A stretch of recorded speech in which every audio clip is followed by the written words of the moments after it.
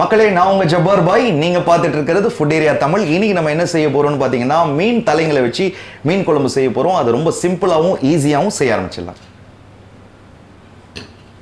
நம்ம அடுப்பை பற்ற வச்சாச்சு பேன் ஏற்றியாச்சு நான் அஞ்சு பேர் சாப்பிட்ற அளவுக்கு செய்ய போகிறேன் ஸோ அதுக்கேற்ற மாதிரி ஒரு பேன் நம்ம எடுத்துக்கிட்டோம்.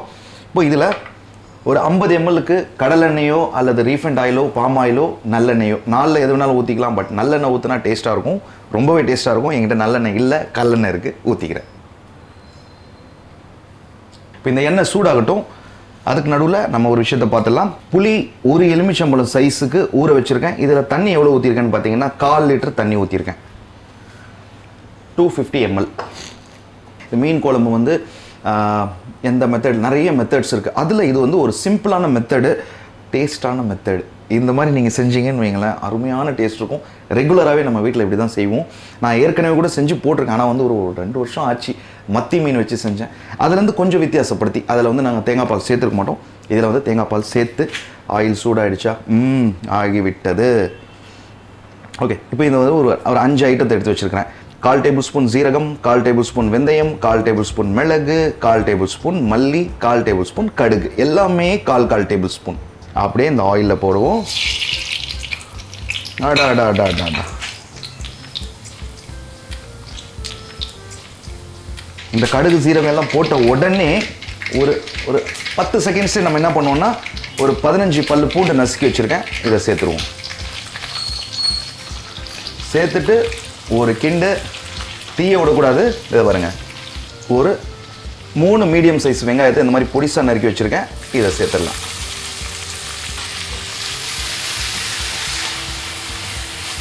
நான் வந்து இதில் கருவேப்பிலை வந்து ஃபஸ்ட்டே சேர்க்கல. ஏன் ஃபஸ்ட்டே சேர்க்கல அப்படின்னு பார்த்தீங்கன்னா கருவேப்பிலை அந்த ஆயிலில் போட்டோன்னா ஃப்ரை ஆகிடும் அதுக்கப்புறம் ஆனியனோட சேர்ந்து ஃப்ரை ஆகும். அப்போ என்னன்னா தீஞ்சிடும் நம்ம என்ன பண்ணுவோம்னா ஆனியன் போட்டதுக்கப்புறம் போட்டோம்னா ஆனியன் வதங்கிறதுக்குள்ளே இந்த கருவேப்பிலையும் வறுபட்டுரும். அதே நேரத்தில் ஃப்ளேவரும் நல்லாயிருக்கும். சும்மா ஒரு பத்து இலைகளை போடுறேன். இப்போ இந்த ஆனியன் நல்ல சாஃப்ட் ஆகிற வரைக்கும் நம்ம வெயிட் பண்ணுவோம். பொன்னிறமாக ஆகக்கூடாது. நல்ல மசியணும். சாஃப்ட் ஆகணும். பார்த்தீங்களா ஸோ இந்த மாதிரி சாஃப்ட் ஆகும் பொழுது நம்ம கால் டேபிள் ஸ்பூனுக்கு சீரகம் பவுடர் கால் டேபிள் ஸ்பூனுக்கு மஞ்சள் தூள் ஒரு டேபிள் ஸ்பூனுக்கு மல்லித்தூள் ஒரு டேபிள் ஸ்பூனுக்கு மிளகாய் தூள். இந்த நாலே ஆட் பண்ணிடுவோம்.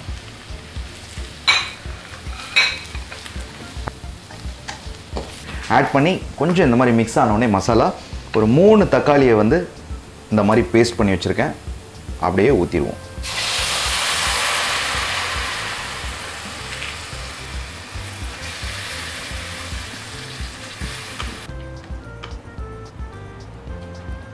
இப்போ இதில் சால்ட் ஒரு முக்கால் டேபிள் ஸ்பூனுக்கு சேர்க்குறேன். கொஞ்சம் ஒரு அஞ்சு விரலுக்கு அடங்குற மாதிரி மல்லி சேர்க்குறேன். ஒரு அஞ்சு பச்சை மிளகாய் சேர்க்குறேன். இப்போ இந்த புளி ஊற வச்சோம் இல்லையா நம்ம? ஸோ அதை வந்து நல்லா பிசைஞ்சிக்கலாம். இப்போ இந்த தண்ணியை அப்படியே இதில் ஊற்றிடலாம்.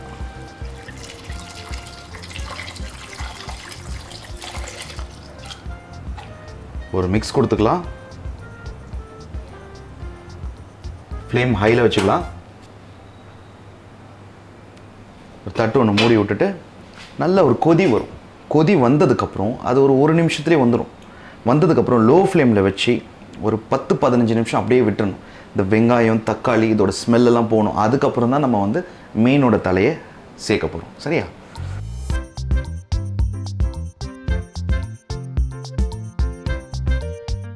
இப்போ ஒரு பதினஞ்சு நிமிஷமா அப்படியே லோ ஃப்ளேம்லேயே விட்டேன். சரியான மனம் ஆ இப்போ இந்த நேரத்தில் நான் என்ன பண்ணுவேன்னா ஒரு சின்ன மாங்காவை கட் பண்ணி வச்சுருக்கேன் பாருங்கள் ரொம்ப சின்ன சைஸ் மாங்காய் பெருசாக போட்டிங்கனாலும் ரொம்ப புளிப்பு வந்துடும் ஸோ இதில் சேர்த்துடலாம். மாங்காவுடைய கொட்டையும் போட்டேன். இப்போ நம்ம வந்து மீன் குழம்புல மாங்காய் சேர்த்தோம்னா காரக்குழம்புலையும் சேர்ப்போம். சேர்த்தோம்னா சின்ன சின்ன பீஸாக போட்டோம்னா அது குழஞ்சி அதோட போய் சேர்ந்துரும். கொஞ்சம் பெருசாக போடணும். அப்போ தான் நம்ம வந்து எடுத்து வச்சு சாப்பிட்றதுக்கு நல்லாயிருக்கும். அப்புறம் நம்ம இந்த மீன் தலை வந்து நான் என்ன பண்ணேன்னா வீட்டில் ஒரு ரெண்டு மூணு தடவை மீன் சமைச்சோம். ஸோ அதில் வந்து ஒரு ஒரு டிஃப்ரெண்ட் ஆஃப் மீன் தலை இருக்கும். இது வந்து ஹமூர் அப்படின்னு சொல்லுவாங்க. அப்புறம் இது வந்து ரெட் ஸ்னாப்பரு எல்லா தலைங்களும் சேர்த்து போட போகிறேன் பாருங்கள்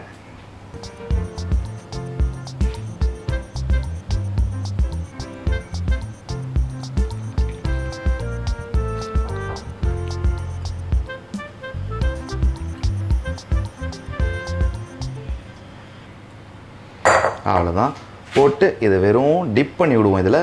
இப்படி முழுகணும். அவ்வளோதான் தட்டை ஒன்று மூடிட்டு லோ ஃப்ளேம்லேயே பத்து நிமிஷம். ஹை ஃப்ளேம் வைக்கக்கூடாது லோ ஃப்ளேம்லேயே வச்சோம்னா அது கரெக்டாக அப்படியே கொதிச்சு கொதிச்சு. மீன் போட்டால் தான் உங்களுக்கு உடையும். தலை போட்டால் என்ன உடைய போகுது? உடையாது. அப்படியே கொதிச்சு கொதிச்சு அதோட சாரெலாம் இறங்கி சூப்பராக இருக்கும். அதெல்லாம் இப்போ பத்து நிமிஷம் கழிச்சு எப்படி இருக்குன்னு பார்ப்போம்.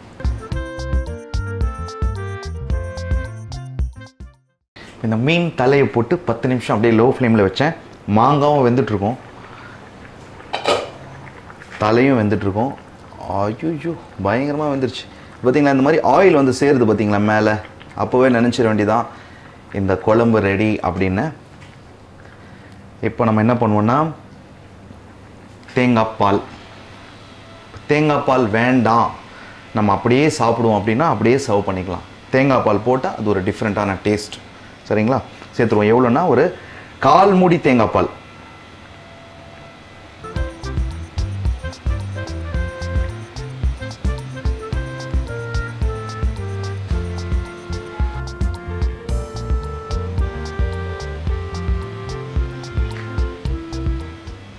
இப்போ நம்ம தேங்காய் பால் போட்ட உடனே ஃப்ளேம் லோவில் இருந்தது இல்லையா?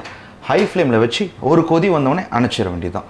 ஓகேங்களா இப்போ இந்த நேரத்தில் நம்ம வந்து உப்பு பார்த்துக்கலாம். உப்பு கம்மியாக இருந்ததுன்னு வச்சுக்கோங்க உப்பு போட்டுக்கலாம். இப்போது மீன் குழம்புன்றது ரொம்ப ஈஸியான ஒரு டிஷ் மீன் குழம்பு கார குழம்பு ஏன்னா புளிப்பு கூடிருச்சுன்னா உப்பு சேர்த்துடலாம். உப்பு கூடிருச்சுன்னா புளிப்பு சேர்த்துடலாம். ரெண்டுமே கூடிருச்சுன்னா கொஞ்சம் தண்ணி சேர்த்துடலாம். ஸோ ரொம்ப ஈஸி அவ்வளோதான் பாருங்கள் நல்லா கொதிப்பு வருது. இப்போ இந்த கொதிப்பு வரும்பொழுது நம்ம என்ன பண்ணுவோம்னா கொஞ்சம் இந்த கொத்தமல்லி மேலே. அப்புறம் ஒரு பத்து இலைகள் கருவேப்பிலை.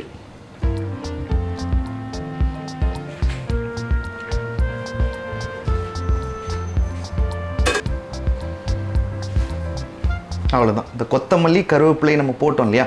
இது அவ்வளோதான் இப்போ நம்ம என்ன பண்ணோம்னா அடுப்பை அணைச்சி விட்டுருவோம். முடிஞ்சிருச்சு.